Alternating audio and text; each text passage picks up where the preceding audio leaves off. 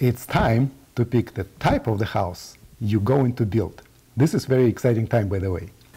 In this video, we are going to learn about the main differences between the types of the houses. By the end of this video, you'll be able to classify most structures you'll see on the street.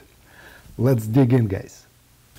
First, we need to separate a structure type from the style of the building. This is a very common rookie mistake.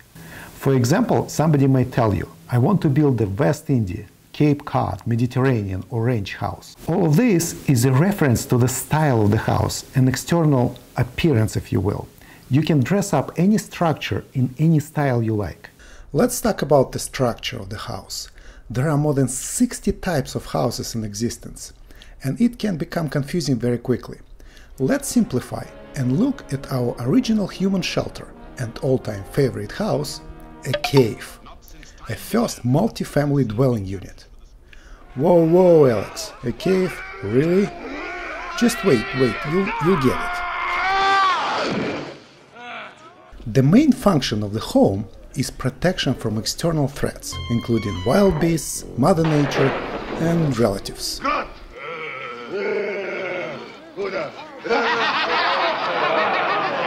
Cave was a perfect fit for a while, until we ran out of prime real estates inside.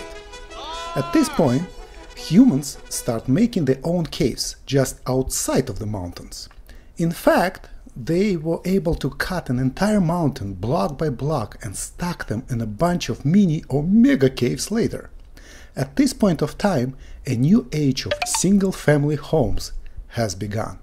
At 10,000 years later, a single-family home is still the most popular type around the world. It sits on its own land and it's completely separate from other houses. It does not have any shared spaces and can be as big as you want it. Usually they are between 1000 and 12,000 square foot.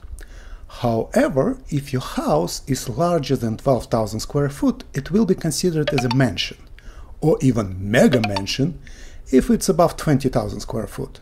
These structures in general required a multiple AC or heating system, but they are, wait for it, a single family homes.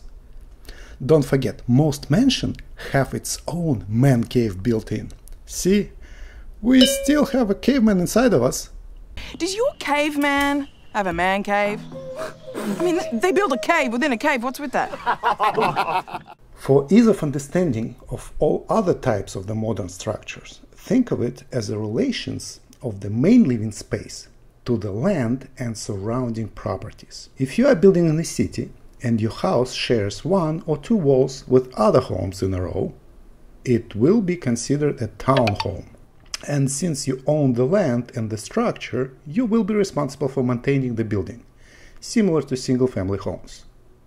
If your structure shares walls and possibly a roof, but it has two or more living spaces, this will be called a duplex or triplex. In a way, they are modern evolution of caves, a multifamily type.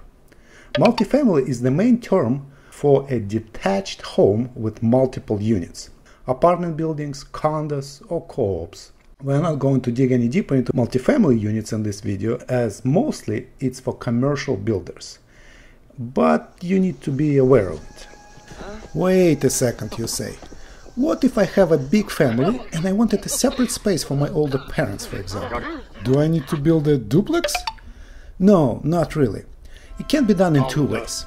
First is an in-law suite. An in-law suite is a separate unit built into a single family home. Often it's in a basement, but not necessary. It's always a part of the single family structure, as opposed to being a separate structure. The second type of the house is a courtyard house. These houses becoming extremely popular nowadays, especially after the pandemic, because they offer a lot more privacy per each section of the house. They still classified as a single family house. In general, they, uh, they have single entrance and the separation is done inside of the courtyard. So each section of the house have a separate entrance, if you will. Let's take a look.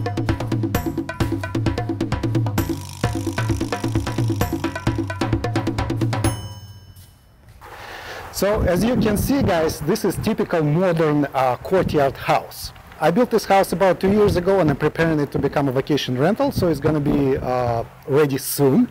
But the general idea, this is the main section of the house, which has the master bedroom, living room, uh, kitchen and everything. So, and it has separate entrance and le leading to the, to the courtyard. This is the other part of the house, which has two bedroom upstairs and big giant office downstairs, where you can work remotely if you like, and nobody gonna bother you. So, and again, it has separate entrances throughout the whole house. Such homes usually have a, uh, they double every system. So they have a double electrical system, a dual air conditioning system, and uh, uh, two water heaters, and two, basically two of everything. So if need arise, you can actually rent one part of the house and live in another one. So you get uh, basically a free, free house uh, this way. So, but that's, that's how it's done. The next type is manufactured, mobile, tiny or modular homes. In short, if structure can be relocated at least once or twice and may be put or assembled on somebody else's land. Do not think of it as an old-style mobile homes of 80s. These are extremely popular types of the homes due to the low cost and fast assembly time. Some of them are truly amazing and functional. One more type worth mentioning, it's a very interesting type. What if your home don't stand on land at all? Ta-da! This is called a floating home, houseboat or treehouse. These types of homes are built differently and they are regulated separately in the different states. If you are a creative person and love being on the water or trees, you can build an absolute masterpiece.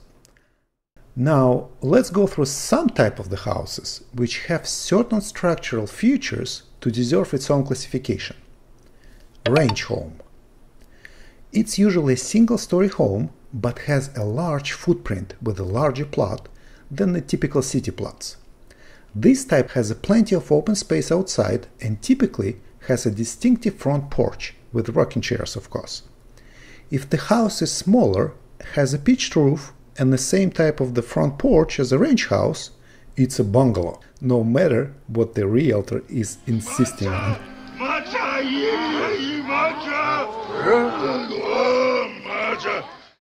Next type on our list is cottages. Term cottage come from uh, England, and uh, the main feature of the cottages is a high-pitched roof, as you can see here. Uh, most of the cottages do have a vaulted ceiling, which is make it really cool and nice. Uh, this house actually uh, is my uh, vacation rental home, which is on Anna Maria Island. Links below. Somebody wanna check it out and stay. So you guys welcome. But in, in today world, cottage mostly refer to vacation rental homes, kind of like upscale vacation rental home uh, which uh, features airy, tall ceiling uh, buildings with a lot of lights. If a cottage is very small, located in a rural area, less furnished, and in general has only basic necessity, it's a cabin. The next one is chalet. Chalet is a term for property that house sheep and goats in Switzerland.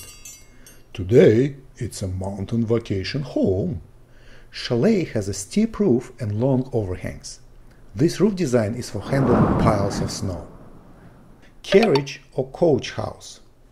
Historically, they are secondary structures on a property, built to house horses or carriages. Since then, many have been converted into separate living units that are rented out or reserved for guests, so the new term is a guest house. Today, many new custom homes have additional structure built on the property to generate revenue for the property owner.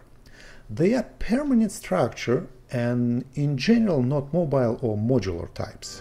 Araka, Araka. Now, let's talk about some fancy house names like chateau, villa or manor. Well, technically speaking, it's all the same thing, just came from different languages and countries. A chateau is a French term used to describe a private palace. It's a luxurious mansion, but doesn't really serve any state purpose. It's a purely private residence that's very grand in appearance. Villa is an Italian and manor is an English version of the same. There are several more types of the houses, but these are the main categories you need to know in order to get you started on your project. In the future videos, we'll go over your next preparation steps such as planning, budgeting, costs, regulations, and uh, more fun stuff. For now, go on and drive around your neighborhood and try to classify all the interesting houses you'll see. It can be fun. Thank you for watching, guys, and see you in the next chapter. Lana, ooh. Lana Lunda oh. Atouk Alunda Lana. Lana Alunda Atouk. Dunda.